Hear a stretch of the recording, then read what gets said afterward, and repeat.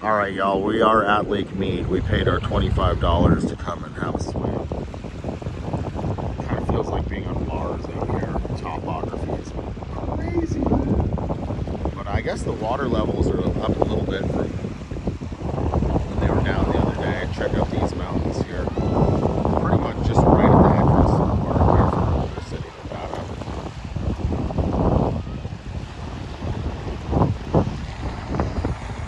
wanted to let everyone see it.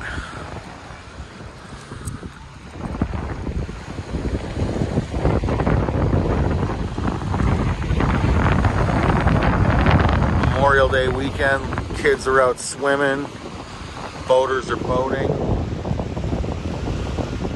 I guess this is the Nevada lifestyle here, y'all.